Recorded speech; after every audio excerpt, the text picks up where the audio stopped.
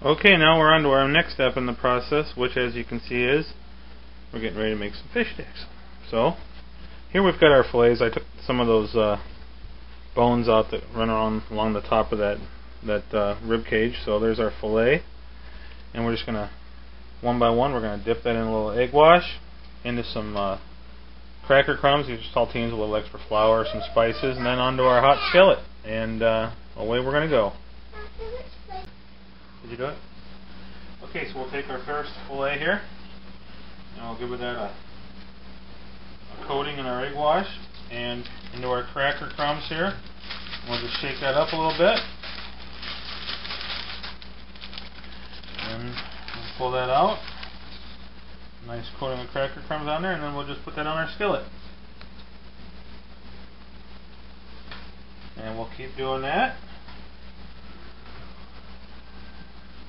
Until we get them all on there, and they're sizzling away. This is fun. Hey, Dad, you look like a baker.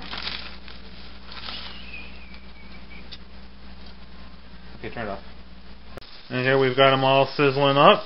Usually we do them in a in a pan with deep oil, but today we decided to just go a little thinner on the oil and just try them on a skillet and see how it would work.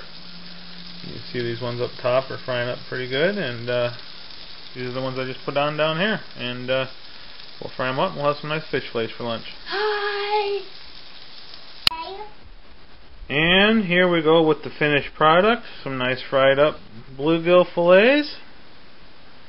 And in case the kids don't want bluegills, of course, you always got to make sure you make a cheese pizza. Ready? Who's ready to eat some fish?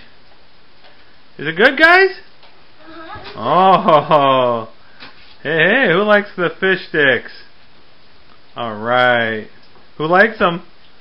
Good. Yay!